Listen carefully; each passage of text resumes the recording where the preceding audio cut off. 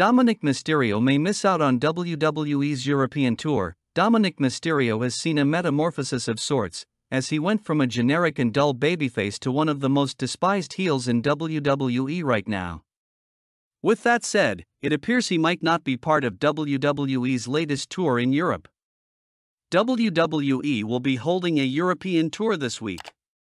WWE superstars from Raw will visit Birmingham on Wednesday, April 17th, Cardiff on Thursday, April 18th, London on Friday, April 19th, and Belfast on Saturday, April 20th, 2024.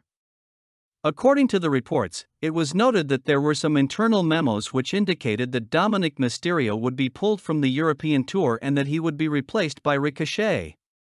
We will have to see if WWE will provide a reason for Dominik Mysterio's removal from the tour.